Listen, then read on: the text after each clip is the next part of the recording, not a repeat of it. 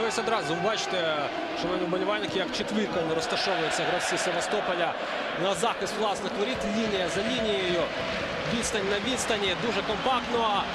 Де, е, перепрошую, Веланда. Бокані, як прибрав вже трьох. Бокані.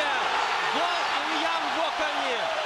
Шикарний гол від Дьомарсім Бокані. Четвертий гол у третьому матчі.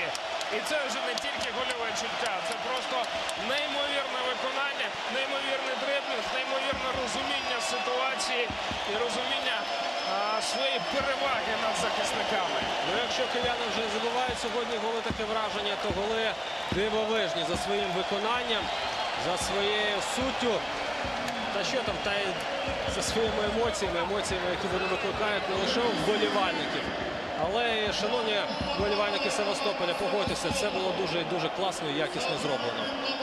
Провалилося. Провалилося спочатку, спочатку опорні півзахисники, а потім і центральні захисники Севастополя. І як наслідок Бокані поліпшив свою статистику.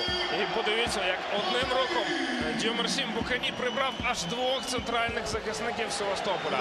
Відправив їх. Відправив їх на відпочинок. Футбольних колах кажуть, відправив зовсім іншому напрямку. Неймовірний гол. Не ображайтеся, вболівальники.